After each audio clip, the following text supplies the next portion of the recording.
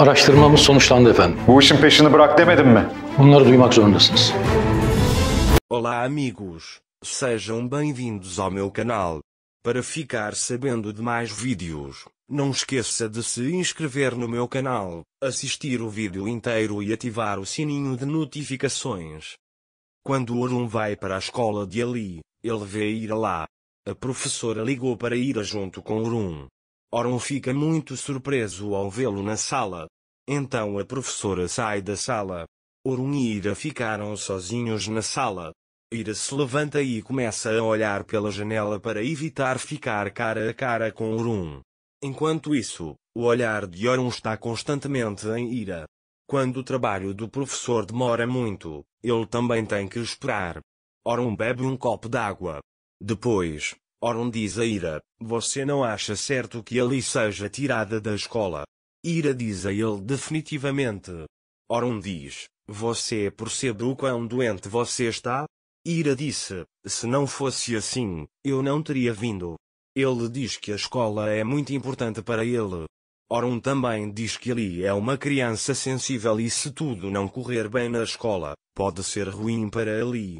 Ira diz a ele que eu sei o tamanho das feridas que os pensamentos errados causam. Orun diz que talvez. Ira olha para ele e pensa consigo mesma, talvez? Ele pergunta por que ele disse isso. Depois, o professor entra na sala e conversa com Ira e Orun. Naquela época, Ciangir ainda desenhava os olhos de Ira em seu quarto de hotel. Esse homem é realmente um homem sem vergonha e então seu telefone toca. Quando o telefone toca, ele se distrai e fica com raiva, rasga a foto e atende o telefone. É seu contador quem liga para Ciangir. Ele conta que você deu muito dinheiro para alguém que trabalha no hotel. Ciangir diz que vai cuidar disso e desliga o telefone. Enquanto isso, quando a Fif não consegue ver Ira na mansão, ela pergunta a Sevket onde Ira está. Sevket foi para a escola com ele. Orun também está com ele, diz ele. Ao ouvir isso, a Fif fica brava e vai embora. Orun e Ira saíram do lado do professor. Ira fica na frente da porta porque não quer ir com Orun. Orun olha para ele e diz que estou lá fora. Depois que Orun sai, Ira se pergunta se Orun percebeu seu erro. Ira acha que entendeu o erro de Orun com uma palavra. Na verdade é. Orun percebeu seu erro. Mas Ira não quer acreditar nele. Ele sai da escola dizendo para si mesmo: Ele não acreditou em você, ele te machucou, não se esqueça disso. Orun está esperando no carro. Ao ver Ira chegando, ele abre a porta do carro e diz para entrar. Ira olha para o rosto dele e sai sem falar. No momento em que Orun está prestes a segui-lo, seu telefone toca e ele diz a Orun: Falei com o funcionário do hotel e vou ao hotel falar com ele. Orun entra em seu carro e diz: Eu também vou. Naquela época, Ciangir também procurava Neva. Mas Neva não atende os telefones. Neva está muito zangada. Ele fará o possível para se vingar de Ciangir. Quando Neva não atende o telefone, Ciangir lhe envia uma gravação de voz e diz: Você nunca escapará de mim. Ele diz que encontrará o funcionário do hotel e o fará contar tudo para Orun. Ao ouvir isso, Neva imediatamente liga para o homem e diz-lhe para sair dali imediatamente. O homem pergunta o que está acontecendo. Neva diz para não dizer uma palavra e sair daí. Naquela hora, Ciangir viu o homem e disse você. Ao ver Ciangir, o homem começa a fugir. Ciangir começa a correr atrás do homem. O homem corre para fora. Enquanto ele atravessava a rua, um carro chega e o atropela. Ao vê-lo assim, Ciangir o olha surpreso. Naquela época, muita gente se reúne em torno do homem. Yavuz também chegou naquela época. Quando Orun chega, ele pergunta o que aconteceu. Yavuz conta a ele que o homem que procuramos foi atropelado por um carro. Orun também vai até o homem e pergunta: Eu sei que ele é homem de Ciangir, porque ele enviou aquele dinheiro. Ele diz-me conte tudo, me diga quem colocou você nisso. Mas o homem está morrendo no chão. Ele diz que tem dificuldade para falar comigo e desmaia. Orun não consegue o que quer do homem. Enquanto Urun chama a ambulância, Yavuz verifica o homem e diz que ele está morto. Orun congelou, sem saber o que fazer. Ciangiros observa à distância. Maldito seja quando viu o homem morrer. Ele diz que foi o único homem que poderia me salvar. Quando Ira volta para a mansão, a FIFA vê e diz para Ira: Você foi para a escola. Ira disse que o gerente ligou e eu fui. A FIFA diz a ele que ligou para você. Ira também fica irritado com a situação e foi exatamente isso que aconteceu com a FIFA.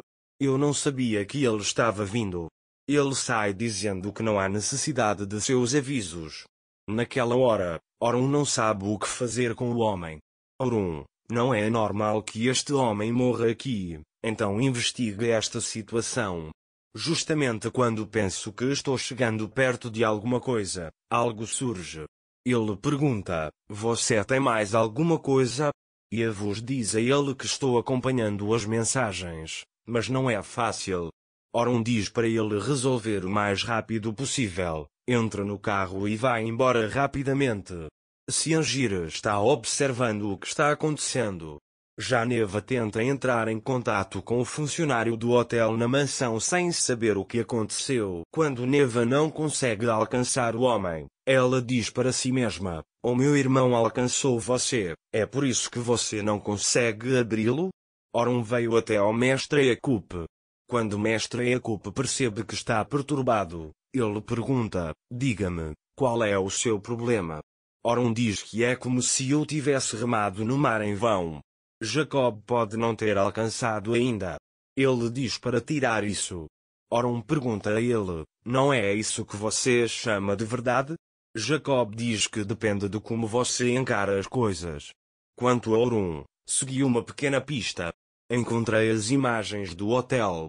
O funcionário do hotel parece estar puxando Ira para uma armadilha.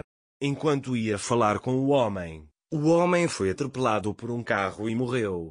Todas as respostas que eu procurava estavam no homem. Tudo foi em vão.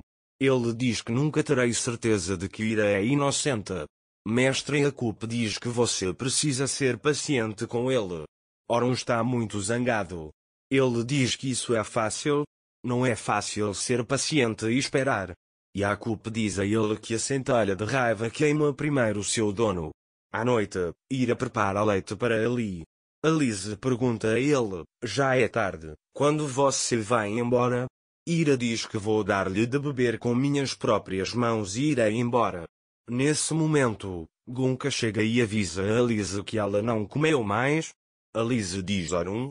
Gunka diz que sim, está com muita raiva. Ira vai embora quando eles falam sobre Orun.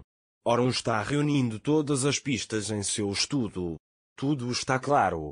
Orun acha que Ira pode ser inocente. Mas então ele se lembra que Ira estava no quarto do hotel e não ligou para Nusa, e sim o anel e o bilhete. Orun está completamente confuso. Depois Orun fica bravo consigo mesmo e diz quantas vezes eu falei para você ficar longe dele mas você não parou.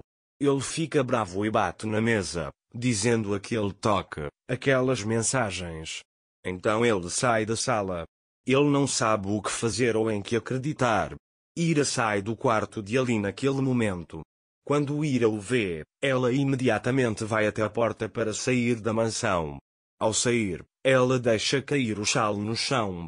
Quando Orun vê isso, ele grita para Ira parar.